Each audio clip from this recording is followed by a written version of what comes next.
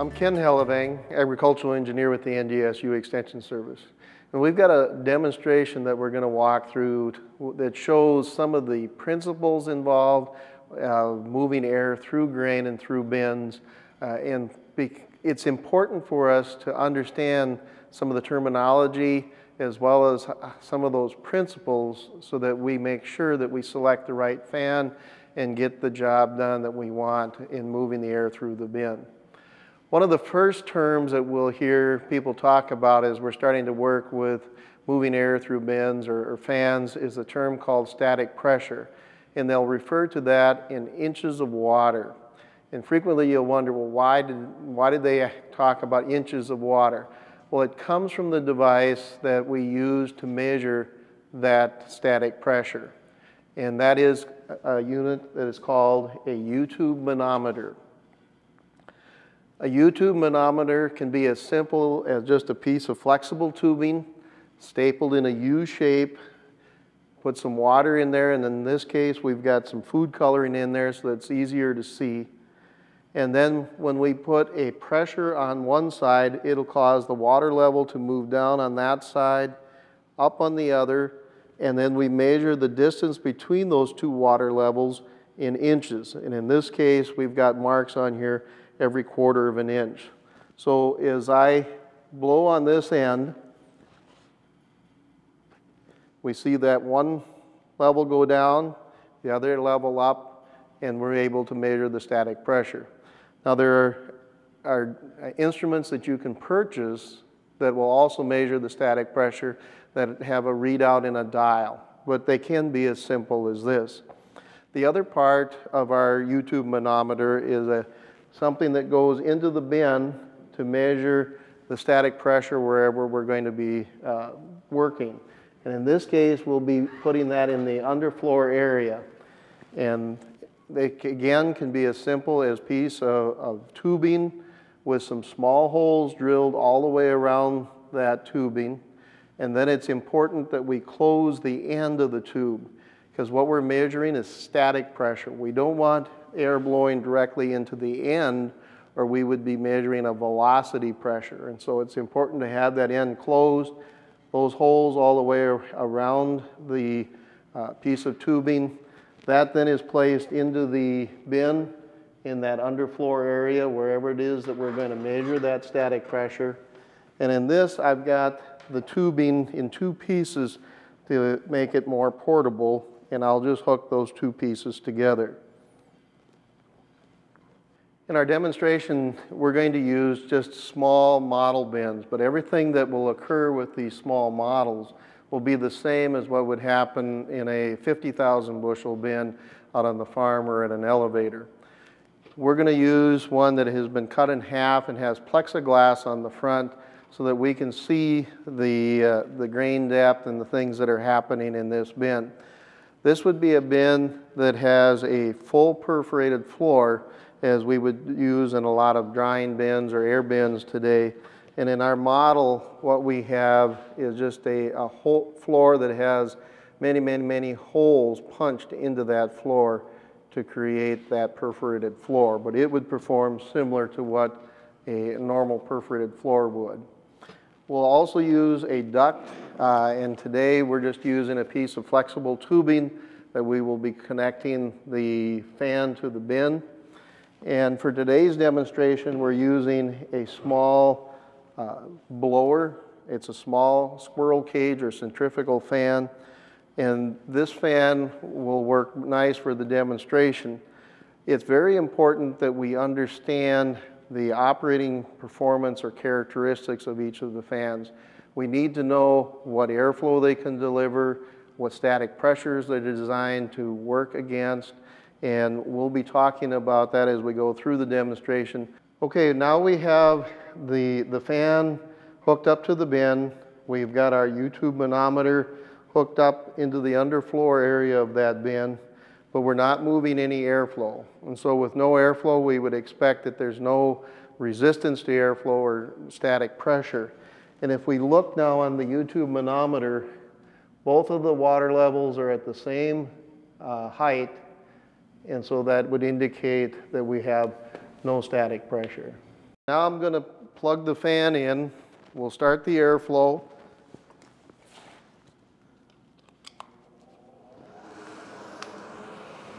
We can hear the fan running. We've got air going through the bin, and now we'll come back, and what we're measuring is the resistance to the airflow through that perforated floor, or it's the amount of static pressure that is developing under the floor to move the air up through the floor. And now as we look at the U-tube manometer, what we find is that there is one marked difference between those two water levels.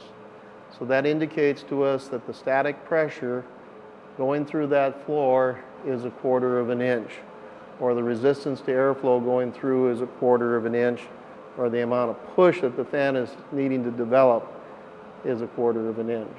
Next thing we'll do then is to look at the amount of air that's coming through.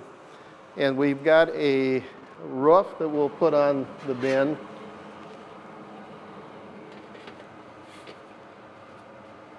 But let's take a look now and see what effect that roof has on the static pressure.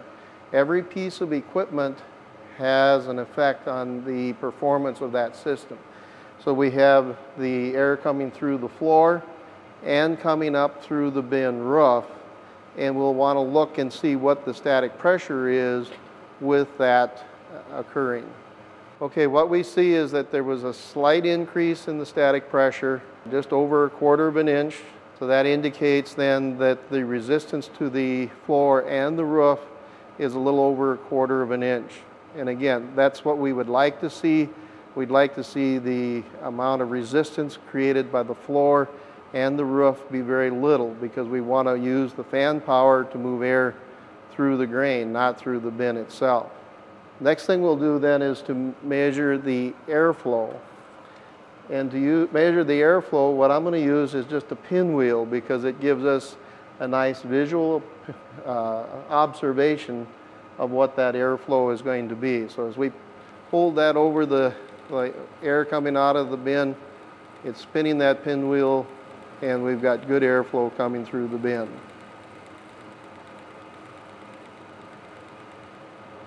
Okay, now we're going to add some grain to the bin and look at what happens as we start putting grain into our bin.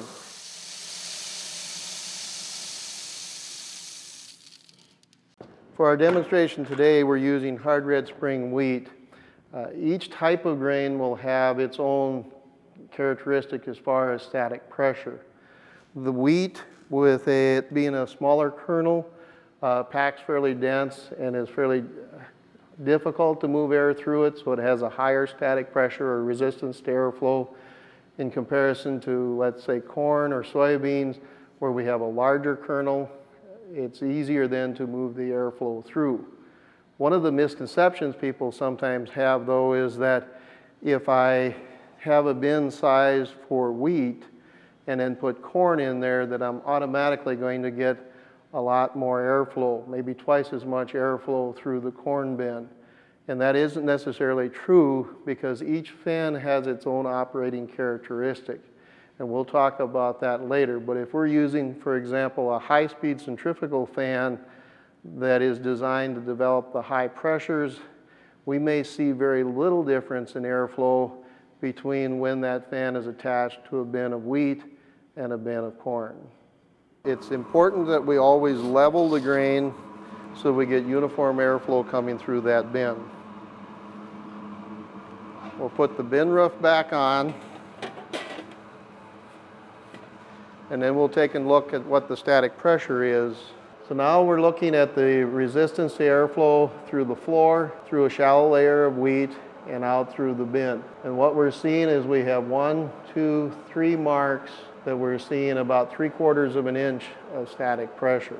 So again, three quarters of an inch is the amount of pressure the fan is having to develop or the resistance to airflow through the floor, through that shallow layer of wheat, and then out through the top of the bin. Okay, let's check the amount of airflow now coming through. And we still got quite a bit of airflow, but we can tell that that pinwheel has slowed down. And that's what we would expect. As the static pressure increases, the amount of airflow that that fan can deliver decreases.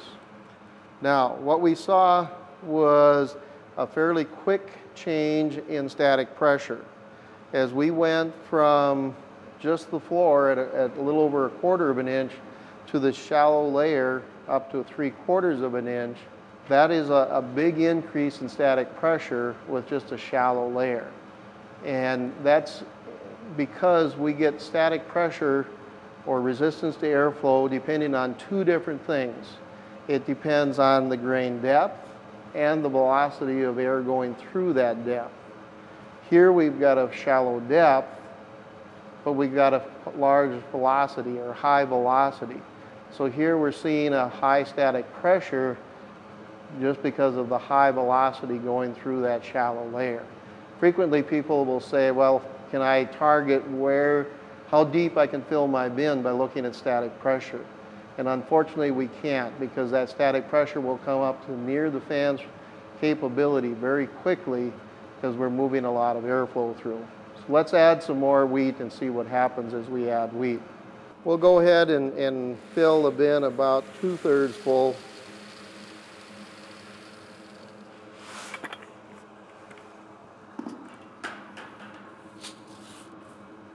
level that bin off again. We'll put the roof on and then we'll go ahead and check what that static pressure is. Okay, here now if we look at the static pressure, we're a little below this line, a little above that line, and so if we count that, we've got one, two, three, and roughly a half over each, so we're almost four marks or one inch of static pressure. So we did see the static pressure go up some as we added additional wheat, but only a small amount. Let's see what happens to the quantity of air coming through. And what we see is that the pinwheel has slowed way down, indicating that we are affecting the amount of air coming through as we increase that static pressure.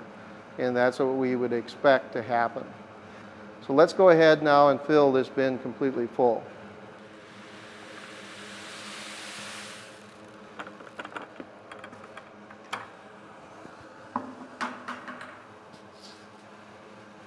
We level the bin. We put the bin roof back on, and then we'll go check the static pressure. As we look at the static pressure again, we're at one, two, three marks, and then about half above and half below. So we're still at about an inch of static pressure. So we really didn't see the static pressure increase as we added that last amount of wheat. And that's indicating to us that the maximum capability of this fan, this blower that we're using for the demonstration, is about an inch of static pressure. That as we added more wheat, we're not seeing any increase. And so it really emphasizes how critical it is that we understand the characteristics or performance capabilities of each of the fans that we're putting on the bin. Let's take a look now and see what the airflow is coming out of this bin and the pinwheel is turning but very, very slowly, indicating that yes, we've got air coming through, but there's not very much air coming through. And so again, as we saw that depth increase, the static pressure increase, the air velocity is going down and we've reached the maximum capabilities of this fan. Okay, we're going to take a look now at a, a tall bin and really see how this compares to the bin that we have been using. Again, uh, the bin shape is important. Here we have a, a, tall bin, relatively narrow, and this is a type of bin that we'll frequently see used for grain storage. This one has a perforated floor, uh, similar to what the other one has. We'll start out by putting the manometer tube under the floor and check what the static pressure is just going through the floor of this bin. We now have the U-tube manometer probe underneath the floor, no airflow going, and as we look at the manometer, what we see is that indeed the, the water levels are equal, indicating no static pressure underneath that floor. So now we'll go ahead and turn the fan on and look at what the static pressure is going through just that floor. Okay, let's check the U-tube manometer and we're one, two, roughly three marks between the two water levels indicating three quarters of an inch of static pressure. If that fan is having to develop three quarters of an inch of pressure underneath the floor to push the air through that floor. And since this fan has only got the capability of moving about one inch of pressure, we're using a lot of that fan's capability just on an empty bin to move the air through the floor. So that's an indication to us that our floor is undersized. So it is critical as we're selecting equipment to make sure that we have enough perforated area to handle the airflow. And typically what we'll use as kind of a rule of thumb is one square foot of perforated area for about 50 cubic feet of air per minute. Okay, let's put the bin roof on and see what that does to our static pressure. So now we've got our bin roof on and the floor, and we're looking at the static pressure going through the floor and the roof. We're at one, two, three, a little bit over, so we did see an increase in the static pressure. Not a lot, but a little bit going through that uh, bin roof and the floor. Okay, let's check the amount of airflow coming out of this bin.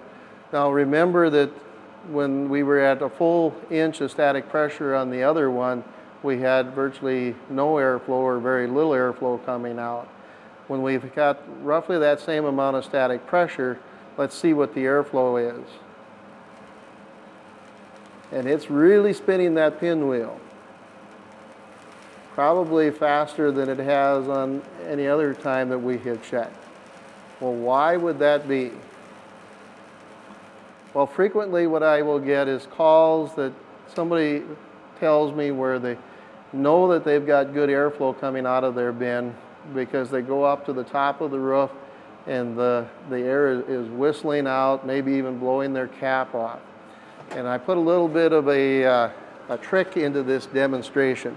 Let's compare the size of the two openings on the bin roof if we look at the size of the openings, what we'll find is that the opening on that small bin roof is very small relative to the size of the opening on the big roof. So we take the airflow, we crowd it down into a small hole, and it shows a lot of velocity. Not necessarily quantity of airflow, but speed of airflow. And so it's critical as we're working with airflow through these bins that we're aware of the, not only the velocity of airflow, but the quantity of airflow, which is a little more difficult to measure. Now what we will do is take and pour the wheat from the first bin into this bin and see what happens to the airflow going through this tall bin with the same quantity of wheat in that bin. So what we're looking at here is the static pressure through the floor, through the tall depth of wheat, out through the bin roof, and as we look at our manometer, we're looking at one, two, three marks, indicating that that fan is about its full static pressure, maybe even a shade less than what we saw before. Before we were bouncing up to about an inch. This one we're staying pretty constant, a little bit uh, over three quarters of an inch. Let's check the airflow and see how much air is coming through this bin. Okay, we're going to check the airflow with our pinwheel. As we pull that up there, we'll stop it. There's a little bit of airflow coming through, but not very much. What that is telling us is that even though this fan is working as hard as it can, we have exceeded really its capability of developing pressure and pushing it through the bin. Actually, if we listen to the fan, we can kind of hear the uh, airflow resistance, and let's do that. I'll unhook the tube from the bin and let's listen what's happening to the noise on the fan. So we're off the bin, back onto the bin. We hear the noise, and then remove the duct again, and it's quiet. And part of the reason for that is that we have exceeded that fan's capability. What we were hearing was the air actually coming back out of the fan, that that fan wasn't able to develop enough pressure to push it into the bin, and so we're sitting there in essence spinning the wheels, churning on the air, some of it feeding back out of the bin. and that's why we saw actually a slight reduction in static pressure, was that we had exceeded that fan's capability to push the air through, and it wasn't developing as much pressure underneath that floor. Okay, hopefully at this point you have a better understanding of what static pressure is, airflow performance going through the bin, through the bin roof, through the grain itself. These are all critical then as we select the appropriate fan for our application. It's going to be different if we're doing uh, natural air drying or if we're doing a uh, low airflow aeration system. But with all of this, it's critical that we understand those principles.